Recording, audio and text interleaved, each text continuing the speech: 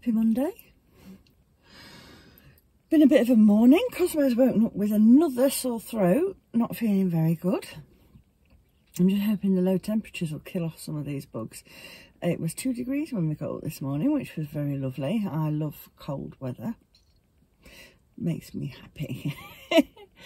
um, yes, yeah, so uh, just dropped Cos off and I'm parked up at my mum's because I'm come to pick her and her pussycat Georgie up, take him for a, check-up at the vets and get him some more flea treatment. And uh, then I've got other errands to run. I've got to go to the hospital and pick up a prescription. And then um, come back and do lots of jobs. I've got packing of orders to do and stuff. Need to get all that up to date. So I'm not sure when I'll get a chance to speak to you again, but I thought I'd just drop in and say good morning. I'm hoping I might squeeze a few rounds of knitting in while I'm doing all these jobs. If I do, I'll show you. anyway, hope you all have a good day and I'll see you in a bit.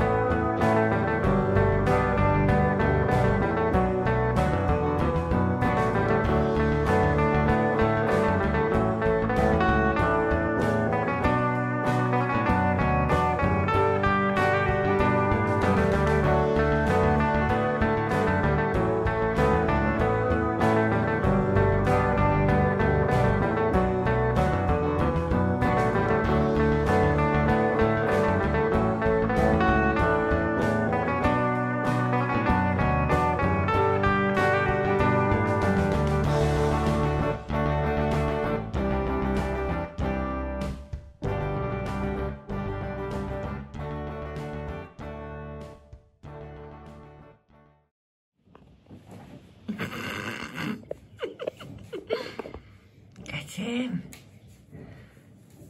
Oh.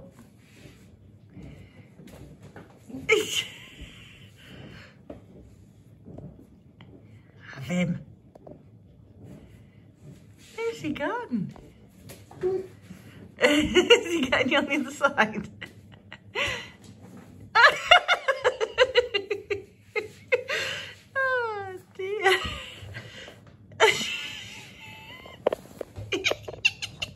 I've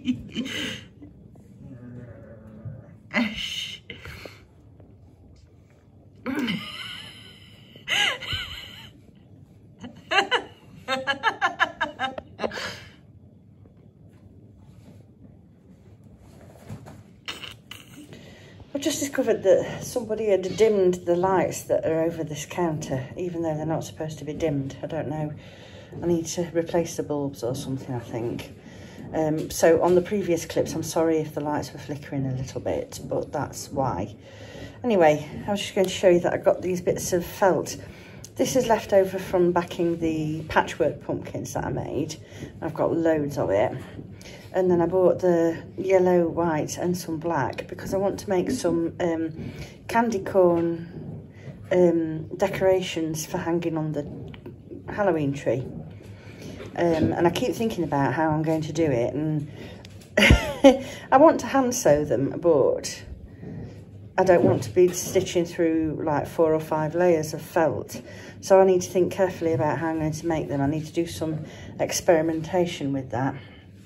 Hopefully I'll get a chance to have a bit of a play around with that in the next few uh, in the next few days because the tree is quite empty which in itself is not a problem because it just means that over the future years I'll be able to gather more and more things make more and more things to hang on it which will be lovely um, but I would like to fill it up a little bit more this year if I can the boys are having a play in the background that's Johnny and Pippin. So sorry if you can hear any background noise. Anyway, I've just made myself a nice cup of